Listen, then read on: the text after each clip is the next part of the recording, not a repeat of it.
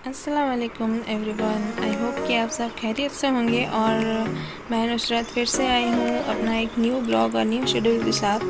तो आज सवेरे से यहाँ पे बारिश हो रहा था, फिर बंद हो गया है। और मुझे आज ऑब्वियसली बहुत ज़्यादा काम है। आप समझ ही नहीं पाओगे कि इतना ज़्यादा मेरा आज काम है कि बहुत ही हेक्टिक दिन आज रहेगा मेरे ख्याल से।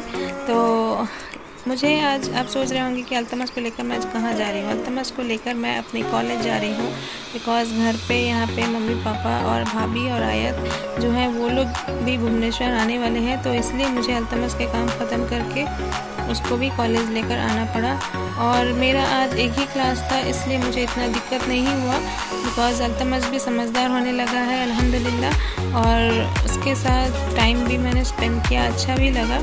और वो भी बहुत खुश है। और जब मैं क्लास में एंट्री हुई तो ऑब्वियसली बच्चे लोग भी देखकर बहुत खुश हुए उसे।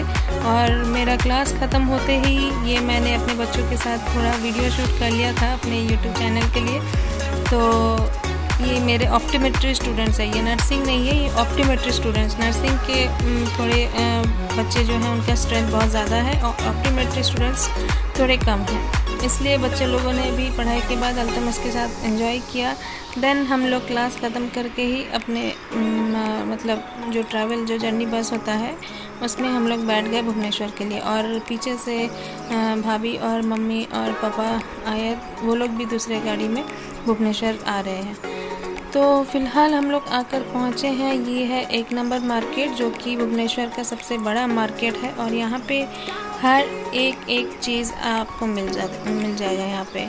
और नो डाउट यहाँ पे चीप प्राइस में, बहुत ही कम प्राइस में और आपको हर एक सामान में, मैंने बोला ना, हर एक चीज़ आपको वहाँ पर अवेलेबल है। तो अगर आप भुवनेश्वर में कहीं नेटिव हैं तो आपको पता ही होगा ये एरिया लेकिन हम लोग बचपन से ही यहाँ पे हमेशा आना जाना रहता है, हमारे कुछ भी सामान खरीदना होता है तो। यहाँ पे बर्तन से लेकर कपड़े से लेकर शूज़ हर एक मटेरियल आपको अवेलेबल हो सकता है। और ये बहुत थोड़ा मतलब कंजेस्टेड एरिया में बना हुआ है। और देख सकते हो कि ये नैरो रास्ता है। यहाँ पे देखिए पित्तल के भी सामान मिलते हैं स्टील मिलते हैं, लोहे के भी सामान फ्रूट्स वगैरह, हर एक चीज़ यहाँ पे मिल जाता है। ये मेरी मम्मी सामने जा रही हैं और उनके सामने आयत और अल्तमश और उनके सामने मेरी भाभी जा रही है। आप देख सकते हो। तो इसी तरह दिन गुजरा और फाइनली हम लोग कुछ घर के लिए सामान लिए। मतलब यहाँ पे जो स्नैक्स आइटम होते हैं, ये बहुत ज़्यादा ही टेस्टी और अच्छे होते हैं।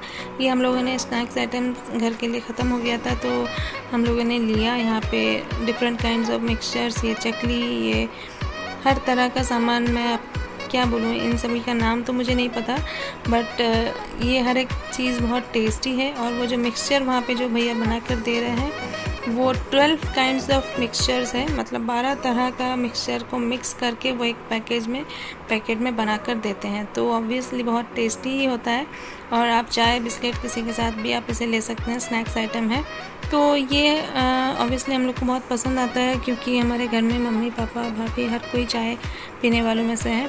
तो इसलिए ये सारा चीज़ हम लोगों ने ख़रीदा।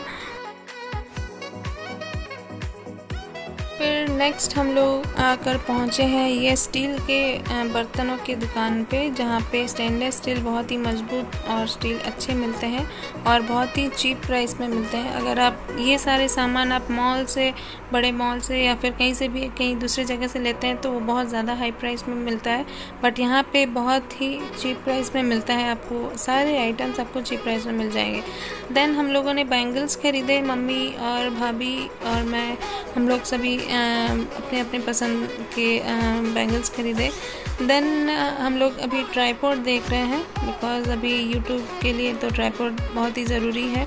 तो ये वाला ट्राईपोर्ड हमें पसंद आया और हम लोगों ने पैकिंग किया। देन एक माइक भी ख़रीदा है और ये माइक भी बहुत ही अच्छा है। जो माइक आप आ, मतलब ऑनलाइन से मंगवाते हैं फिफ्टीन हंड्रेड का वो यहाँ पे उससे भी कम प्राइस में यहाँ पे वही कंपनी का और ओरिजिनल ये नहीं कि मैं बोलूँगी कि आपको डुप्लीकेट मिलता है, लेकिन ओरिजिनल सामान आपको सेम प्राइस मतलब चीप प्राइस में आपको यहाँ पर मिल जाएगा।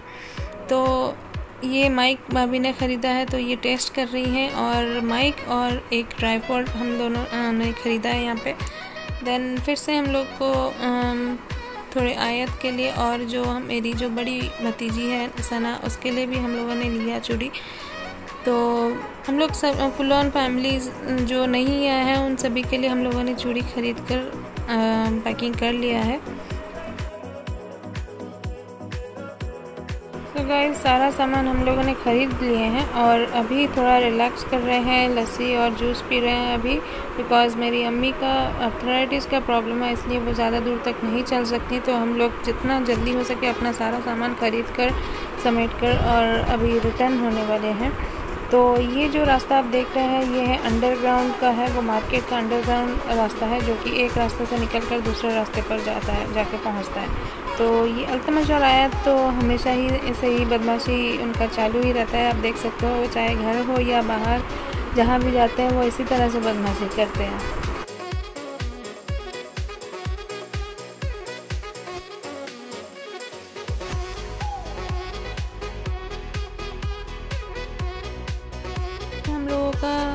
शॉपिंग ख़त्म होता है देन हम लोग जब मार्केट से बाहर आते हैं तो पानी पूरी खाने का मन करता है तो पानी पूरी खाते हैं देन उसके बाद आइसक्रीम भी खाते हैं और ये मेरा फेवरेट आइसक्रीम है, जो कि ऑरेंज फ्लेवर है और बच्चों का भी फेवरेट मेरी भाभी का भी फेवरेट आप देख सकते हैं, हम सभी का फेवरेट होता है ये ऑरेंज आइसक्रीम और फुल ऑन हम लोग बहुत ज़्यादा टायर्ड हो चुके हैं और बच्चे लोग भी टायर्ड हो सकते हैं, देख सकते हैं। आप उन लोगों के चेहरे से दिख रहा है कि इतने धूप में किस तरह से वो लोग मतलब इतना दूर चल के आए, वही बहुत बड़ा बात है। और अल्तमस गाड़ी में ही सो गया। मतलब देख सकते हो कि वो कितना टायर्ड है मेरा बच्चा। बेचारा मतलब चल चल के मतलब सुबह तो बारिश हो रहा था, लेकिन फिर इतना तेज़ धूप स्टार्ट हो गया कि हम लोग समझ ही नहीं पाए कि इतना ज़्यादा धूप होगा। देख सकते हैं आयत और अल्तमस दोनों ही सोए हुए हैं। देन घर आकर फ्रेश होकर ये शाम का मोमेंट है जब अल्तमश खेलना चालू कर दिया है। और आयत अभी रेस्ट कर रही है और अल्तमस रेस्ट करके उठ चुके हैं।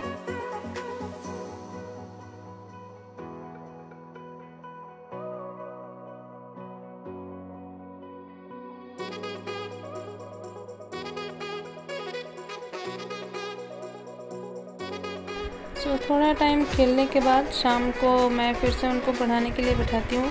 चाहे मैं जितना भी टायर्ड हूँ या फिर कुछ भी काम करूँ, लेकिन सुबह हो या फिर शाम, जब भी वक्त मिलता है मैं उनको अल्तमश को हाफ़ एन आवर के लिए स्टडी के लिए बिठाती हूँ ज़रूर।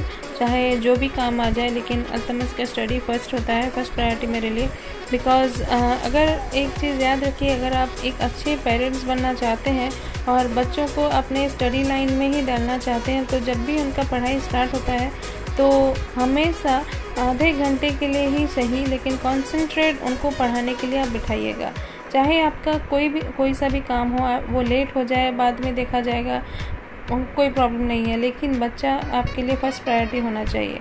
तो इसी तरह उनका पढ़ाई जब ख़त्म होता है, फिर दोनों भाई बहन को साथ में राइम्स के लिए मैं बिठाती हूँ। ये अब उनका राइम्स का सेशन है, और पढ़ाई के साथ साथ थोड़ा उनका एंटरटेनमेंट भी ज़रूरी है। तो इसलिए राइम्स ख़त्म होता है, फिर आधा घंटा, एक घंटा में उनका पढ़ाई ऑलमोस्ट ख़त्म हो जाता है। तो इसी तरह द फुल डे बहुत ही इन्जॉयमेंट रहा कि आई होप आई सब, आप सबको मेरा वीडियो पसंद आया होगा। तो please like share and subscribe करना मत भूलिएगा। तब तक के लिए अल्लाह हाफिज़।